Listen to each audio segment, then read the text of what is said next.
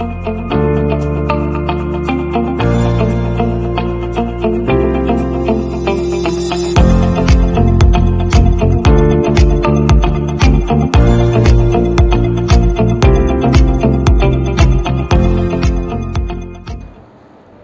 Everyone मैं मोमिता कुमार, आपके सामने फिर से हाजिर हूँ।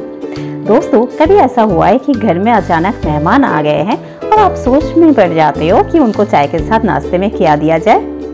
आप तब जोमेटो या फिर स्विगी में कॉल करके ऑर्डर प्लेस करते हो। क्योंकि आपको समझ में नहीं आता है कि घर में ऐसा क्या बनाया जाए कि जल्दी भी बन जाए और मेहनत भी कम लगे। तो आइए, आज मैं आपका ये प्रॉब्लम सॉल्व कर देती हूँ। क्योंकि आज का जो रेसिपी है, खाने में जैसा स्वादिष्ट है और समय भी कम लगता है और मेहनत भी। तो आइए देखते हैं कोकोनट प्यारी की बनाने के लिए क्या चाहिए।